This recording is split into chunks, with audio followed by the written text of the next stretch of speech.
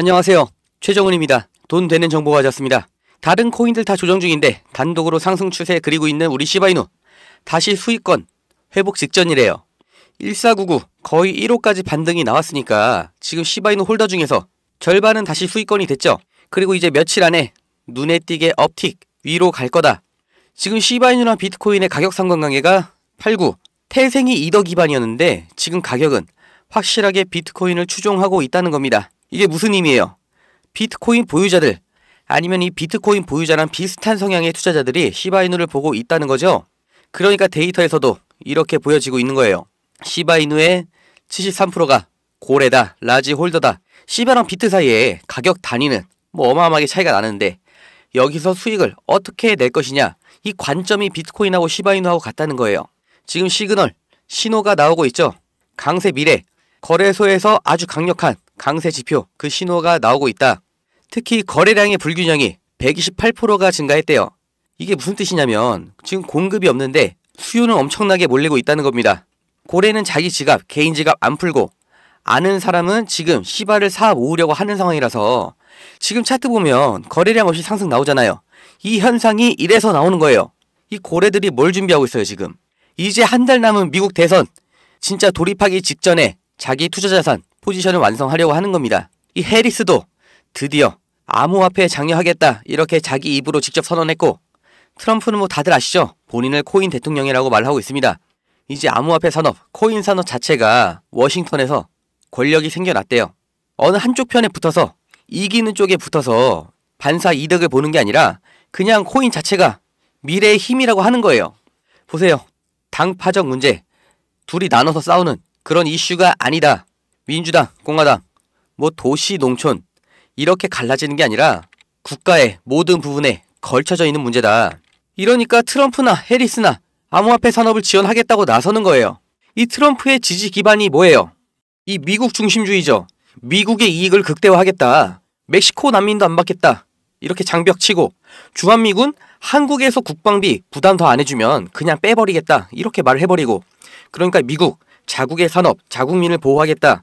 이렇게 강경하게 자국 중심주의 기조를 보여주니까 지금 미국인들이 동의를 하고 있는 거죠. 그런데 이 미국이 어떻게 컸어요? 원래 세계의 패권이 해가 지지 않는 나라 영국에 있었죠. 그 영국의 식민지였던 미국 20세기부터 떠올라서 100년도 안 되는 기간에 패권 잡고 세계의 대장놀이 하고 있죠. 그 힘이 어디서 나와요? 이 달러 지배력이죠. 국제 결제에 쓰이는 미국의 달러. 그 달러 이전의 세계 화폐가 금이었죠. 자산의 가치를 다 금으로 따졌는데 1930년대 세계 경제 대공황 왔고 그 다음 미국의 뉴딜 정책 시행됐고 그 다음 미국에서 브레튼 우즈 체제 달러를 국제 결제 화폐로 선정을 했죠. 이게 미국 패권의 역사예요. 현대 문명에서 가장 중요한 자원 뭐예요? 석유죠. 석유도 달러 없으면 못 사는 거예요. 그런데 이 달러 지배력이 흔들린다는 거, 결국 미국의 지배력이 흔들린다는 거, 이거랑 이어지는 거예요. 근데 이게 지금 실제로 흔들리고 있는 겁니다. 블록체인이 왜 위대한 기술이냐? 기존 달러와 화폐를 대체를 할 수가 있다. 그러니까 세계의 대장 미국이 이 암호화폐 때문에 흔들릴 수 있다는 거예요. 지금 많은 나라들이 탈중앙화 이거를 말을 하고 있죠. 이 대체 수단으로 언급된 게 이 CBDC예요. 중앙은행 디지털 화폐. 우리로 치면 한국은행이 직접 코인 만드는 거죠. 이제 암호화폐가 돈 그리고 달러를 대체하게 될 거라고 많이들 보고 있습니다. 그럼 달러로 헤게모니를 가져온 미국이 세계 화폐가 어떤 암호화폐로 바뀐다고 하면 그게 비트코인이 될지 이더리움이 될지 모르는 상황이라고 하면 미국의 주도권을 잃게 되는데 그냥 가만히 있을까요? 절대 아니죠. 당연히 미국 지금 이미 행동하고 있습니다.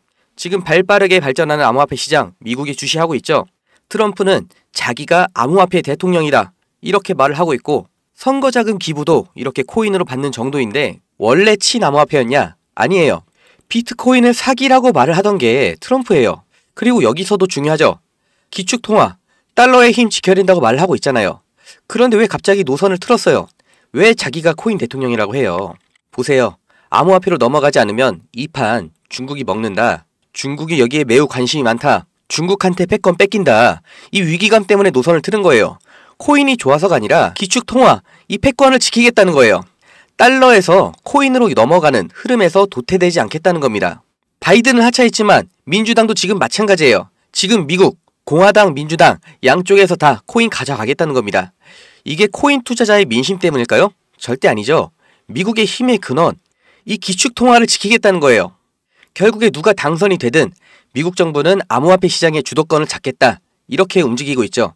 이게 눈에 보이셔야 되는 거예요.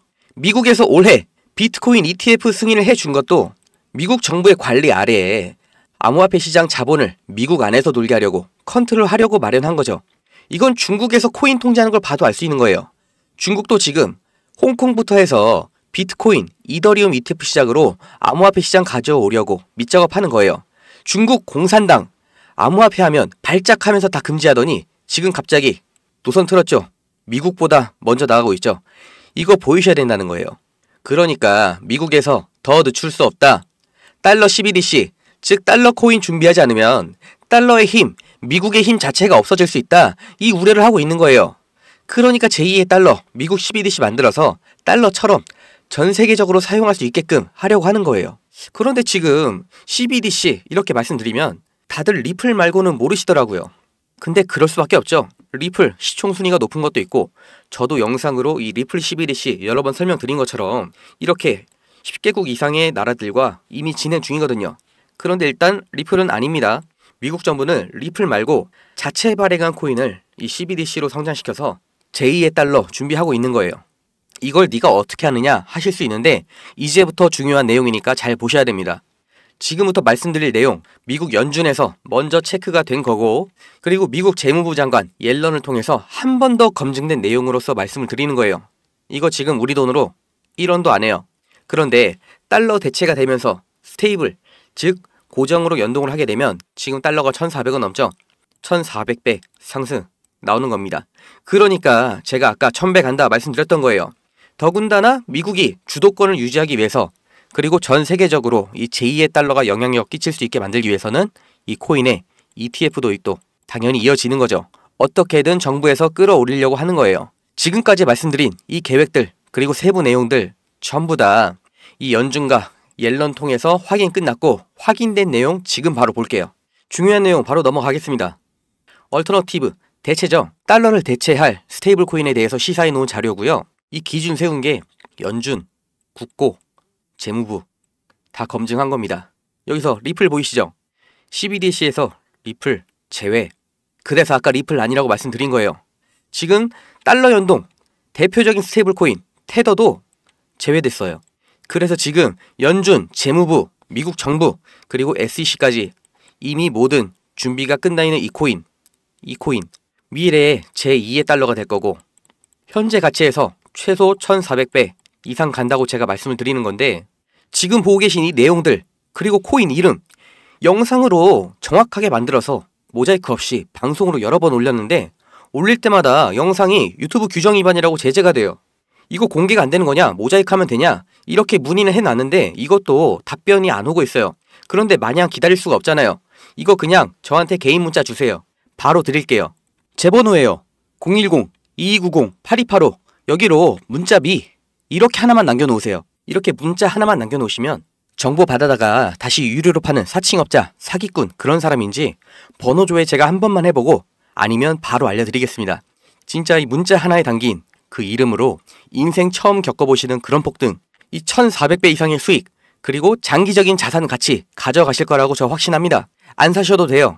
그냥 이름만 알아두셔도 25년 초부터 이 코인 제2의 달러라고 소문나기 시작하면서 미친 상승 나올 때, 아, 그때 말한 거 이거였지? 하고 그때 사셔도 수익은 날 겁니다. 근데 그러려면 지금 내용이라도 기억하셔야 된다는 거예요. 10만원만 사놓으세요. 로또 사서 10만원 날리지 마시고, 왜? 어차피 당첨 안 되니까. 그냥 이거 10만원만 사서 절대 어디 날아가거나 없어지지 않는 코인이니까 대선 끝날 때까지 보유만 하면 이게 1억 4천만원 되는 거예요. 100만원 준비하면 14억 원. 미국이 트럼프가 서울에 집 한 채 해주는 거예요. 그리고 말씀드린 것처럼 제2의 달러니까 그냥 평생 보유를 해도 좋은 거예요. 왜? 대한민국의 원화 가치 점점 떨어지니까 장기 전망도 안 좋으니까 그래서 물가도 미친 듯이 오르고 있죠. 지금 삼계탕이 2만 원 넘었습니다. 그러니까 이 미국 대선 코인 제2의 달러를 아셔야 된다는 거예요. 우리 대한민국 잘 나가는 것 같아도 이미 부모보다 가난한 첫 세대가 나와 버렸고 국민연금은 이제 내는 돈이 받는 돈보다 많은 사실상 고갈 확정이죠. 그런데 지금 20대, 30대 결혼 못하고 있죠. 당연히 출산도 못하고 있죠. 이 상황을 우리가 바꿀 수가 없어요. 내 살 길, 내 가족이 살 길, 지금 기회가 있을 때 찾아놔야 되는 거예요. 아, 진짜 일 열심히 해서 10년, 20년 더 뼈 빠지게 일한 다음에 은퇴하면 괜찮을까요? 삼계탕이 한 그릇 10만 원인 그런 시대가 오면 내가 국민은행, 신한은행 이런 데다가 저축을 한 그 한국 돈으로 우리가 몇 년을 버틸 수가 있을까요? 우리 자식들은 나보다 가난한 우리 자식은 도대체 뭘로 먹고 살아야 될까요? 지금 제가 대한민국 망하라고 기도하는 게 아니에요. 정말 잘 됐으면 좋겠어요.